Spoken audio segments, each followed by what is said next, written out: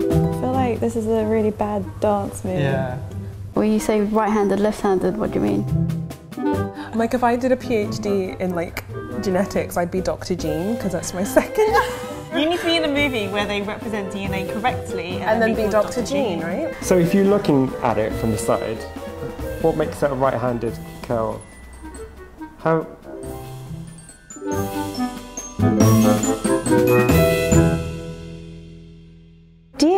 Is a molecule in each of our cells and it essentially acts as kind of like an instruction manual. What colour eyes do you have? Brown.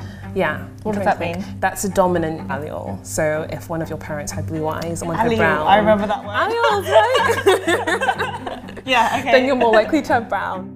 Double helix. Oh yeah, that's another one. That's Yeah. another keyword. Sugar Um, phosphate backbone. Oh yeah. Just oh, trying to yeah. bring out those things. It's um, we got we've got the four groups: A, T, C, G. So the four different bases, as they're called, are adenine, thymine, guanine, and cytosine. And there is a pairing rule.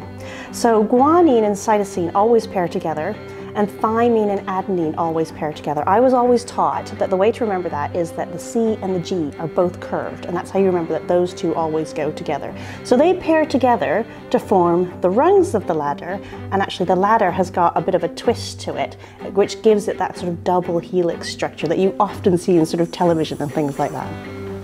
Now, this is a model of a molecule of DNA. DNA molecules are made of a large number of atoms and are quite complicated. It's a double helix, but it has to go the right way.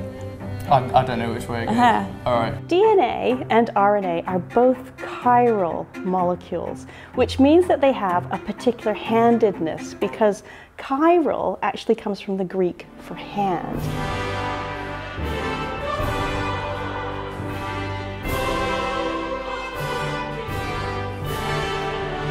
The hands of DNA? They're, oh, Mirror they're image? mirror images of them. The structure of DNA was discovered in the 1950s, and it was the combined work of people like Watson and Crick and Franklin and Wilkins, and it was using various techniques like X-ray diffraction. There are a number of forms of DNA, but there are three main forms. So these are the A form, the B form, and the Z form that you find. So the B form is the one that uh, Watson and Crick are describing in their 1953 paper, but Franklin also discovered the A form, and the Z form is the only one of those three that actually has a left-handed double helix structure. So the other two have got a right-handed double helix structure to it. What makes that right-handed cut? Right, okay, so it has to, yeah, it has to go. If you looked at it and followed it round, it has to go clockwise, I think. So there's a couple of ways to remind yourself as to how the DNA double helix is supposed to go. The first one is that as I think of it as a staircase. Now, if you were going to climb that staircase, if you need to use your right hand, that means it's a right-handed double helix uh, shape.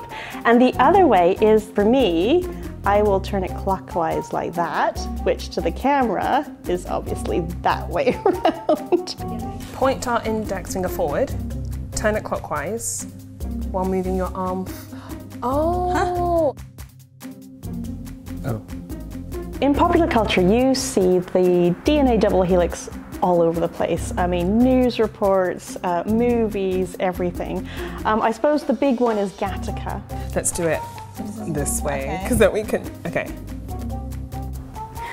Which is left That's right, handed. we're going to do that to go along it. Into the picture. Point your finger, Yeah. turn it clockwise.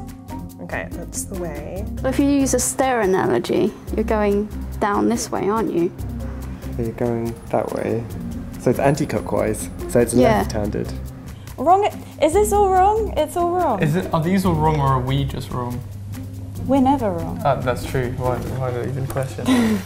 Yeah, that's completely, that's a left-handed spiral. That's not the right way around. I feel like I've just learned how to do like I left and right. Are you doing the L's? Altered Carbon.